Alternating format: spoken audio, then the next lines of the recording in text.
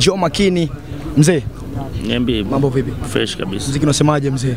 Ah, mziki unaendelea.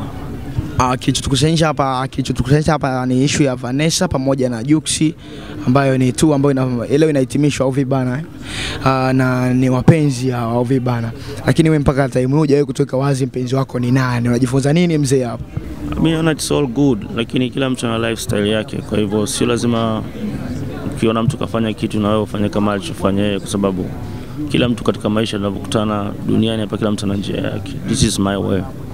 Yeah. Tumewahi kuona siku moja labda umempost au umempost pia mpenzi wako? This is my way. Yani jinsi ninavyoishi mimi, that's me. Yeah, Yani hiyo ndio inanifanya mimi nakuwa makini. Yeah, hiyo ndio tofauti ya Joh Makini na watu wengine. Ishu ambayo ipo kati ya Weusi na Lord Ease ni ipi mwanangu? Tayari Lord Ease yuko Weusi moja kwa moja mzee au Hakuwahi kutoka weusi. na kwa nini kuna ngoma nyingi za Weusi hayupo Lodizi? Lodizi yupo na nafikiri kikubwa ambacho natakiwa kufanya ni kufanya interview na Lodizi. Mengine yote atayajibu yeye kama yeye. Hapa niulize yale ambayo anamhusu Joh Makini peke yake. Aina no. mwanangu, uh, kuna ishu moja ambayo ipo kwenye mziki wa Bongo Flava. Wasanii wengi wanatumia kiki kubusi mziki wao mzee. Unafikiri kwa nini kwa upande wako hujatumia kiki na mziki wako bado unasogea mzee?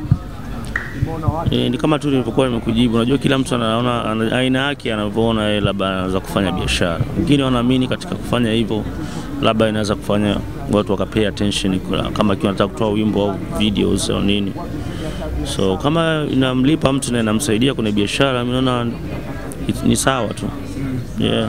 Kuna kitu gani ambacho ulipitia kwenye harakati yako ya mziki, labda huko under 18 na nini, unakikumbuka mpaka time ukikaa hata kwenye ndinga zile, unakumbuka da, mwanangu Joe, nimetokea sehemu fulani hivi, siamini mpaka sasa niko hapa.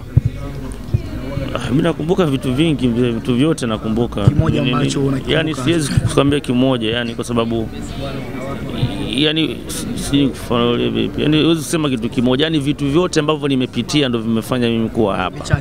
Mm, kwa hiyo kikubwa tu ni kwamba nimetoka kwenye haso, nimehaso na nimetengeneza brandi yangu imekuwa hapa leo hii nikiwa kama Joh Makini self made. Umeshawahi kwenda studio ukakesha labda na muda wako ulikuwa ni jioni, labda kwa sababu kuna oh, jawa Joh Makini mmewekwa benchi na nini?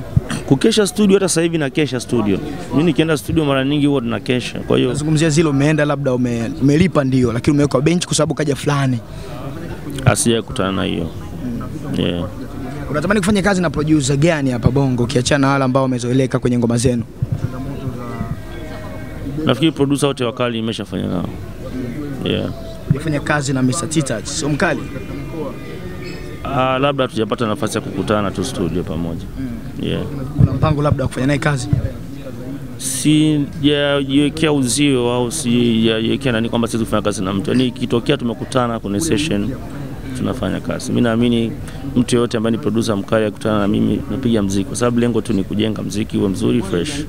Na ukitokea mwanangu kandaa album, kwa mfano uh, album yako ikawa labda na track kadhaa hivi, wasanii gani ambao utamani watoke nje hata Afrika hapa waweze kusikika kwenye album yako hiyo mpya? Nikiwa naandaa album, sema kweli, najiona mimi kwanza, na hiyo hivyo vitu vingine ni ziada tu yeah. Uweze ukafanya collab na mtu naweza kufanya lakini siwezi kukuambia kwamba eti natamani fulani na fulani akiwepo kwenye albamu yangu. It's my album, natakuwa mimi ndo niwe, yani kitu cha kwanza ni mimi yeah, na unajua kutengeneza mziki huwezi kupanga, unajua mziki ni feeling, yani huwezi kujua kesho nitakutana na nani katika mazingira gani na tukarekodi mziki. Kwa hiyo vitu vingine ni unpredictable, huwezi kuanza kusema. kwa maana hiyo mziki ni unakuwa hujapanga kufanya kazi na nani, unakutana naye kwa muda huo ndo unaifanya naye kazi. Sasa inategemea mimi nakutana na nani. Mimi watu ninakutana nao mzee ni watu sio wa kawaida pia, kwa sababu mimi mwenyewe sio wa kawaida. Kaligrafu na mpango kufanya naye kazi mzee? Tokea Kenya. ikitokea nimekutana naye na tukaona ni muda mzuri wa kufanya kazi, tutafanya kazi, lakini so far sijapanga. FDQ. Ikitokea nikutana, si sijui kama unanielewa bro, yani kolabo hizi mimi navyo- mimi navyofanya kolabo mara nyingi sio kwamba nafanya kwa sababu watu labda wanaulizia nifanye au nini. Ni watu ambao na chemistry nao tunakutana na studio na nini. Kwa hiyo mziki uko hivyo tu, hakuna mipaka yoyote mimi kufanya kolabo na mtu yoyote ambaye ni, ni msanii mzuri. Gunganers Info Channel. Subscribe now.